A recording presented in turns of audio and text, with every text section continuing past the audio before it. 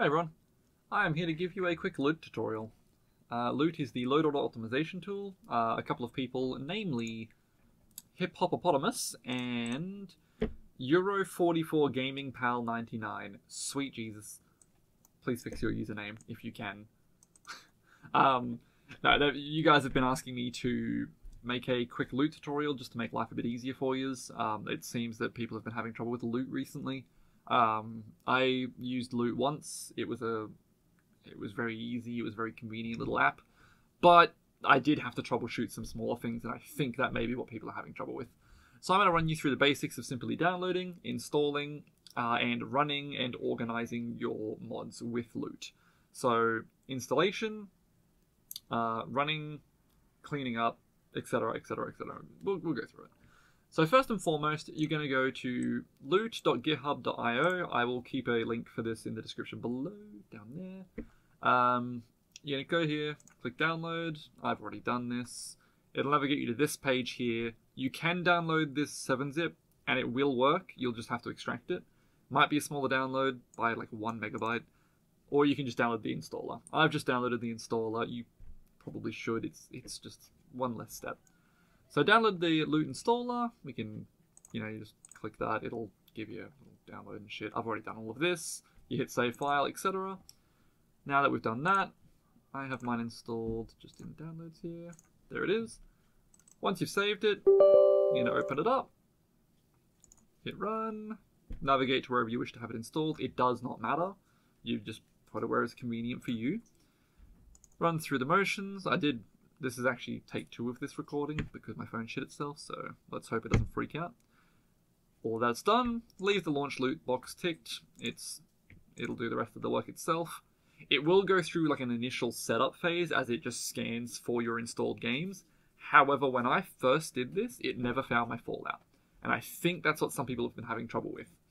So, when I first installed this, it found my Skyrim, but it never found Fallout. And I can imagine a few people having trouble with that would have no idea how to fix it because it was a little bit of a fuck around.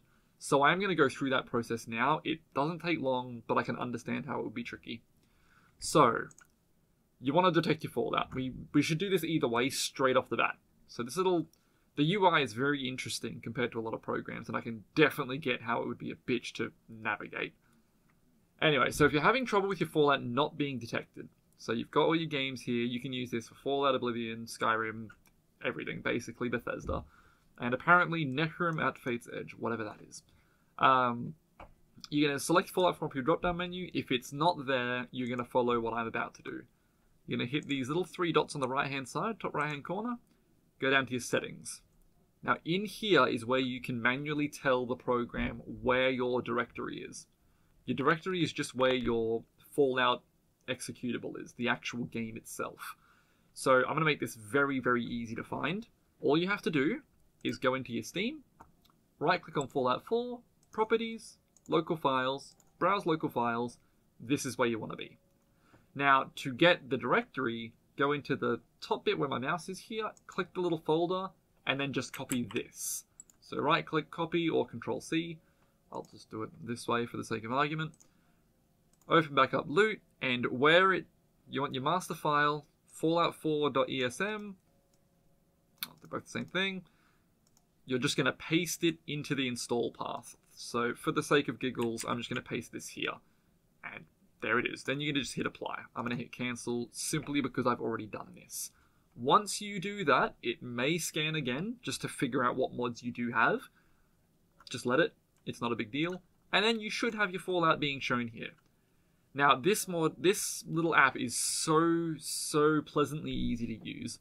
All it essentially does is uses a known database to organize your ESMs and ESPs, yeah, into the correct order. It's very nice. Um, all you have to do, very easily, is just not press that button. Uh, this little button here, sort plugins. It's going to go through, It'll take a second and it's going to just put all of your things in the right order. Just like that. So it what it should have is your Fallout 4 executable, DLCs, high resolution texture pack, I assume. I'm just going to scroll down here. There it is. And then it'll have everything else in order and it almost always gets it right. I uh, had no trouble at all. It will sometimes give you little pop ups just asking you to change some things, but it also cleans everything up quite nicely. And you're done. That's it. You, you're finished. You're good to go. You may need to update your master list, but for the most part, you don't have to, as you see. Um, after that, you, are finished. You're genuinely just done. You, it did everything for you. Just close it.